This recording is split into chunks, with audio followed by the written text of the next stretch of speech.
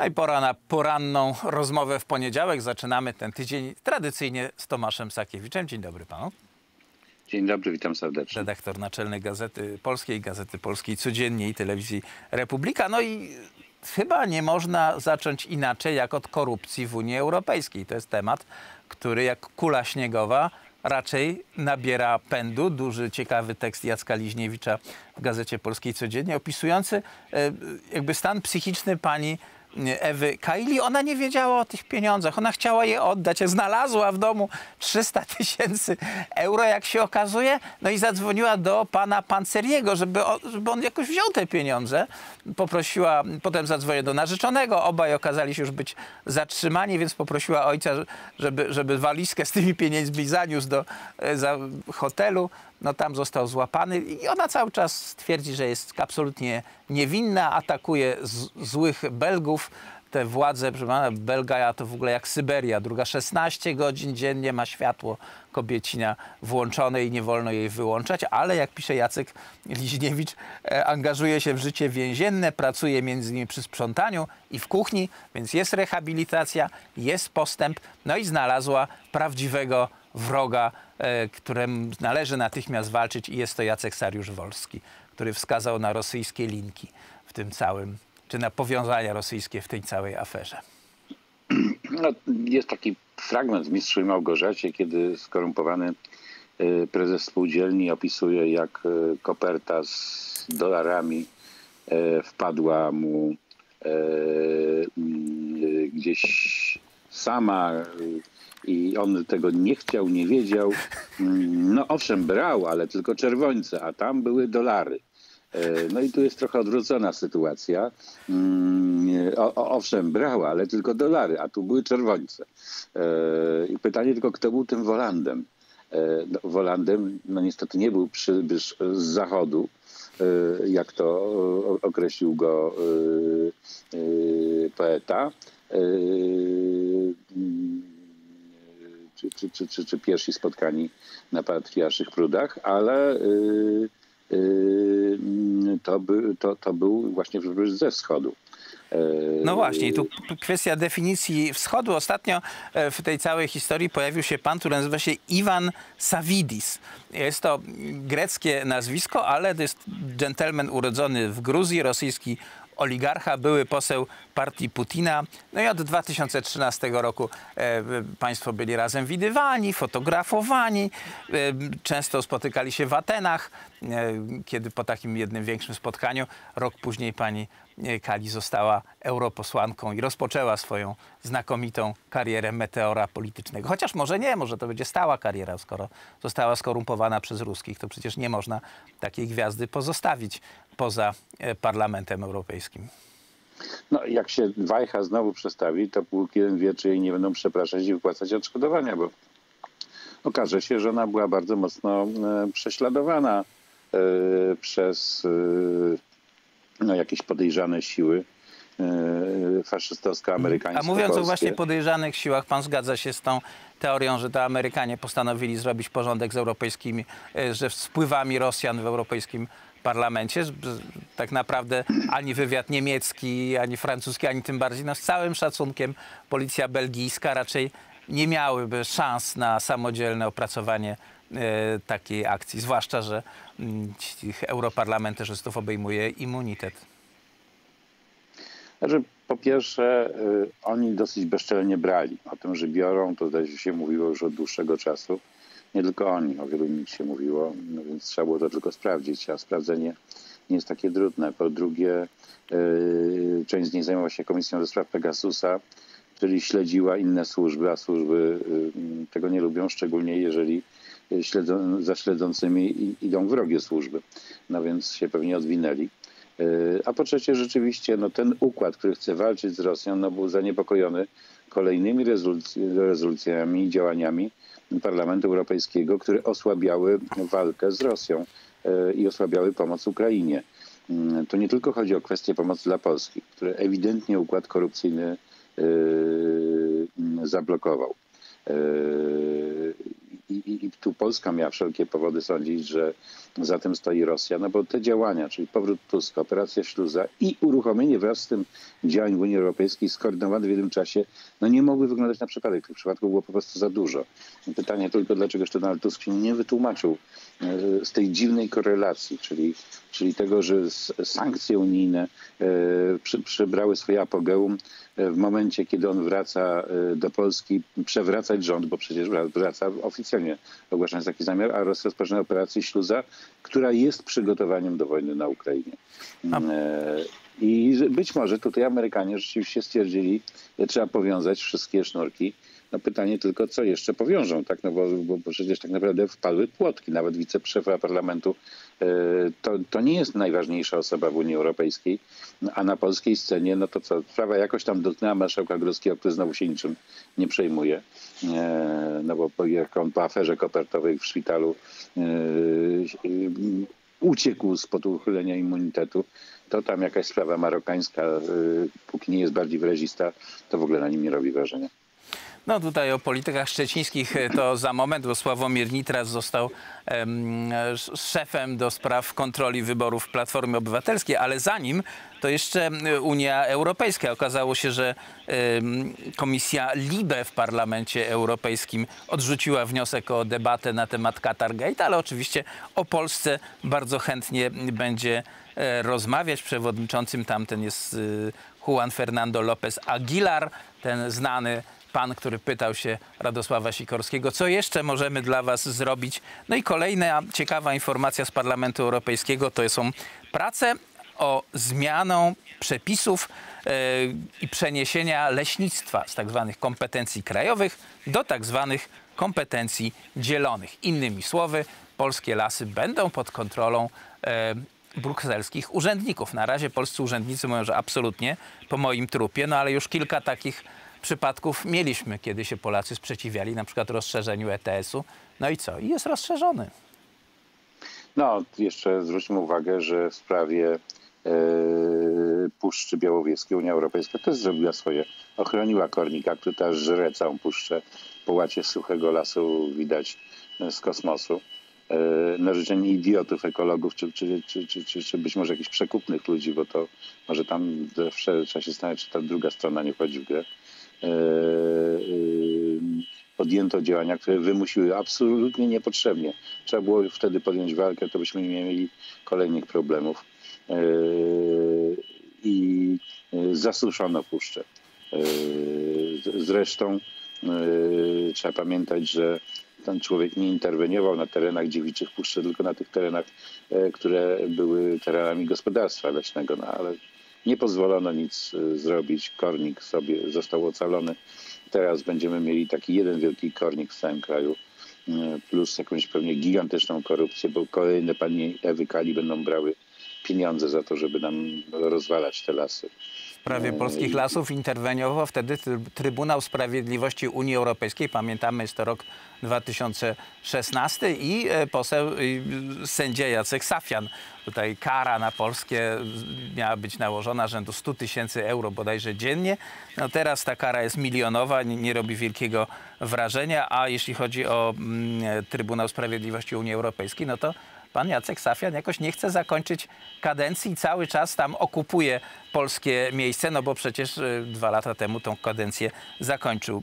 Podobnie Europejski Trybunał Praw Człowieka, to z kolei Komisja Rady Europy, która znowu nie zaakceptowała y, polskich kandydatów. Podobno trójkę kandydatów trzeba zgłosić i z tej trójki y, Europejski Trybunał wybiera jednego, więc Europejski Trybunał odrzucił wszystkich polskich kandydatów, bo a to źle zostali wybrani, a to nie wiadomo, czy to są prawdziwi sędziowie. Natomiast jeśli chodzi o sędziów wysłanych przez Moskwę, to nie ma żadnych problemów. To są demokratyczni sędziowie, jak najbardziej można ich wybierać. Więc myślę, że to są takie... Znaczy ja proponuję wysłać tam sędziego Iwulskiego, bo też nie chcę opuścić Sądu Najwyższego. Eee, a, w gruncie rzeczy, czy tam będzie Safian, czy Iwulski, to co za różnica. Są dwa różne trybunały. No i jeszcze mm, sprawa Radosława Sikorskiego, bo zdaje się, że wychodzą informacje na temat pieniędzy.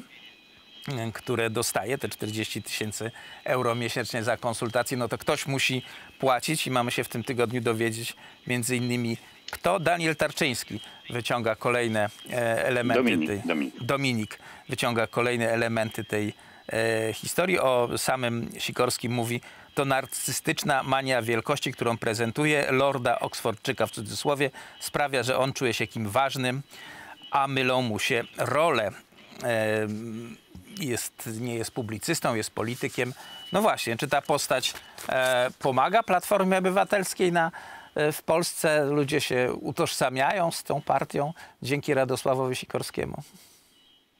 No, pytanie, na ile y, taki plastikowy lot y, z Lombardu y, może pomóc wizerunku. No bo teraz już bez złośliwości, no niektórzy mają takie potrzeby. To znaczy mm, przebrać kogoś trochę lepszy garnitur, żeby zakręcił językiem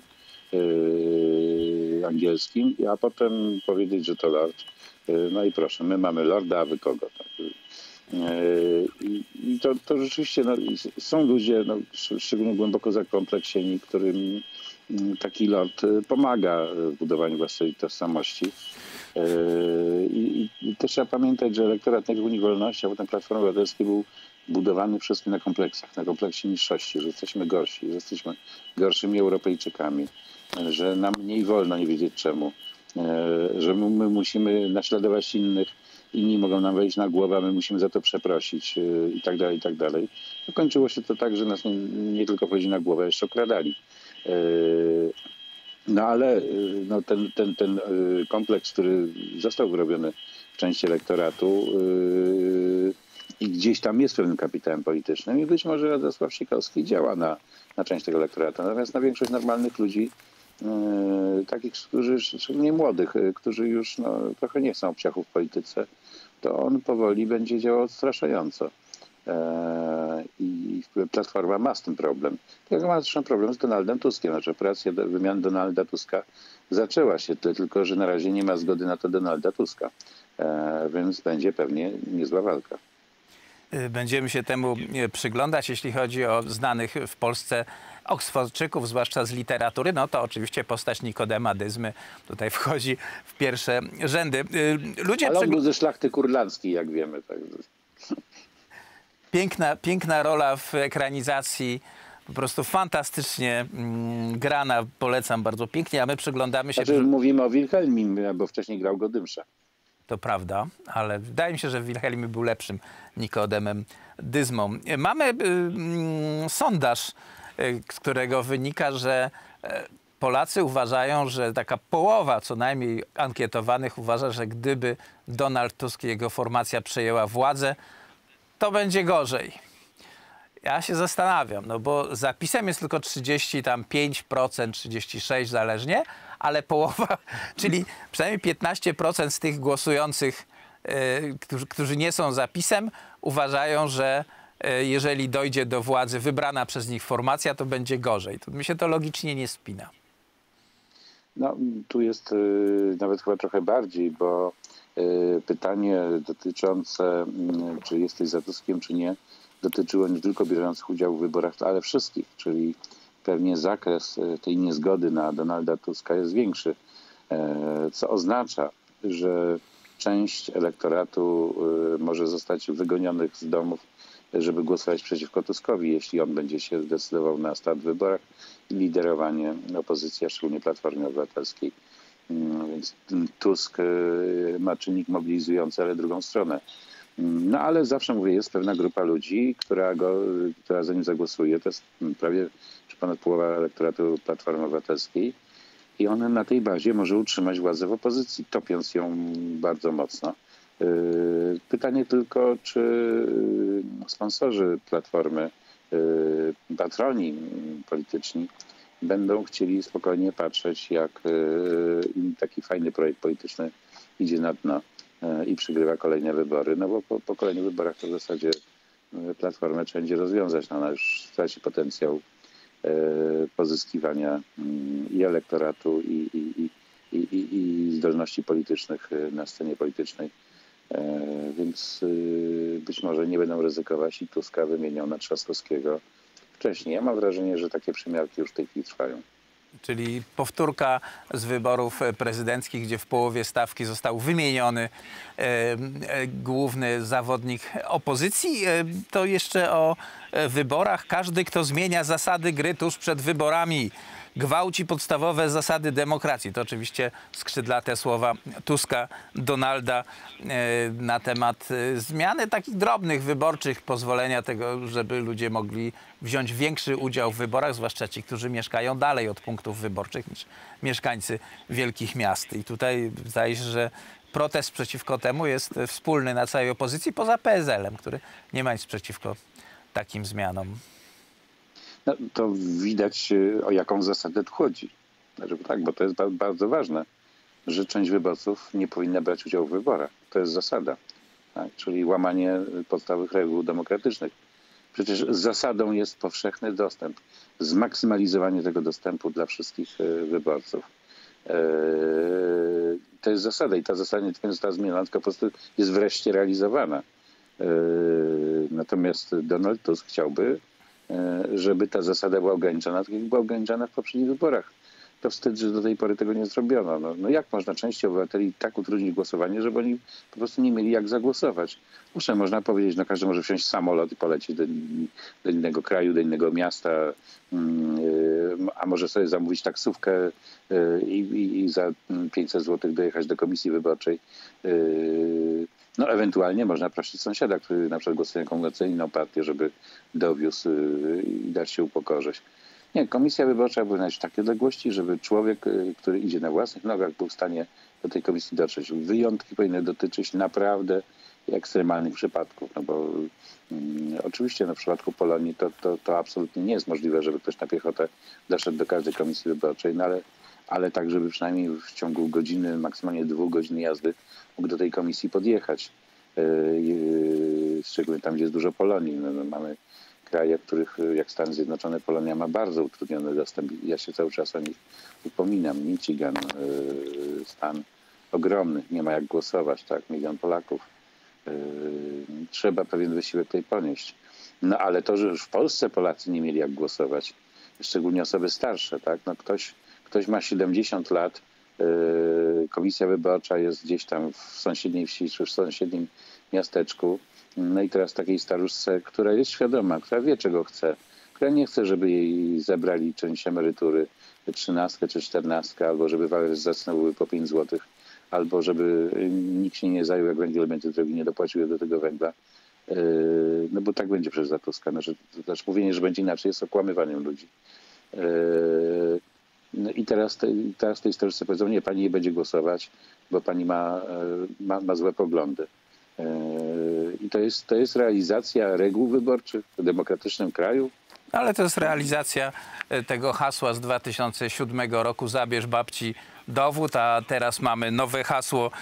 Tusk obiecuje naprawienie krzywd byłym SB-kom. Krzywdy ich spotkały pod rządami PiSu, mianowicie zabrano im tą nadmierną część emerytury mm, gościom, którzy zajmowali się szpiegowaniem, prześladowaniem, zamykaniem w więzieniach itd., tak itd. Tak Służyli komunistycznej dyktaturze. Donald Tusk, człowiek, który mówi, że ma solidarnościowy rodowód, człowiek, który mówi, że walczył z tą dyktaturą, obiecuje im naprawienie krzywd. No już nie chcę się pastwić nad większym, mniejszym rodowodem. Bardzo wielu ludzi przewinęło się przez takie czy inne farmy podziemia, yy, o, o których się nawet nie wspomina, czy tym się nie epatuje. Ja mm, konspirowałem z kolegami, żeśmy chyba nawet sporo robili. Jakoś nigdy tym nie epatowaliśmy specjalnie. Yy, chociaż naprawdę potrafiliśmy robić akcje na tysiące ludzi i dosyć głośne. No ale mm, nie uważam, że to jest kapitał, który należy wykorzystywać w bieżącej polityce, e, a w każdym razie, że, że to jest jedyna przepustka do, do, do tego, żeby działać w demokratycznym kraju. Przepustką jest to, co się teraz proponuje. Mm, oczywiście inaczej należy oceniać się z beków, no bo to są ludzie, którzy e, robili krzywdę wielu naszym starszym kolegom szczególnie. Wielu pobito, wielu zamknięto w więzieniach. Ale no to byli ludzie, którzy mieli złamane życiorysy, tak, zakaz pracy. Mamy teraz jakieś próby wyrównywania no, byli tego. Mamy którzy, których wyrzucano na przykład ze szkoły, bo ja takie bardziej rzeczy pamiętam. zerwane ciąże, małżeństwa, ludzie, którzy nie mogli potem założyć rodziny przez, to, przez traumę, jakie przeszli. Przecież to są No tak, typowe no, ale, rzeczy. znaczy to, co się niestety też lubuje czasem y, niektóre media opozycyjne, też wyciąganie jakichś słabości osobistych, brudów po to, żeby właśnie zniszczyć małżeństwo, czy, czy jeśli ktoś ma kochankę albo- ma nie takie skłonności. Tak, y, dzisiaj ci sami ludzie bardzo głoszą tolerancję. E, I to, to wszystko robili nam SBC, ale wszystkim służyli Sowietom. Tak? Służyli obcemu mocarstwu, służyli tym, którzy dzisiaj mordują na Ukrainie. E, I służyli świadomie. Oni wiedzieli, komu służą, wiedzieli, po co są. Redaktorze, jeszcze króciutko, bo zostały nam dwie minutki, e, taka refleksja. Jest informacja o tym, że z wojska e, w tym roku odeszło kilka tysięcy oficerów, podoficerów, ludzi, którzy spędzili e, dużą część swojego zawodowego życia w armii. I to mi przypomina tą przemianę moralną, której domagał się Antoni Macierewicz, kiedy rozpoczął swoją służbę na stanowisku ministra obrony Rzeczpospolitej, gdzie chciał odbudować y, te dwa moralne wartości, czy, czy morale żołnierza polskiego, oprzeć to o wielką tradycję, o nasze tradycje niepodległościowe, żołnierzy wyklętych, ale też żołnierzy II Rzeczpospolitej.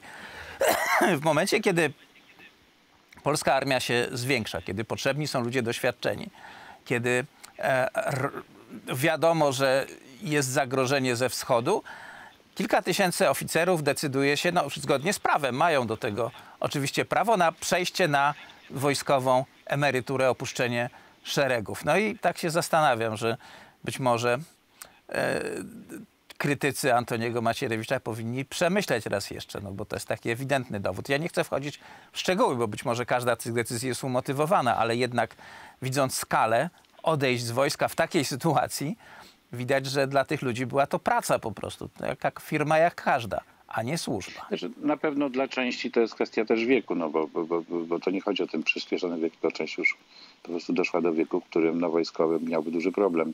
Szczególnie niższy, taki tam, gdzie jeszcze sprawność fizyczna ma szczególne znaczenie, e, pewnie ze służbą.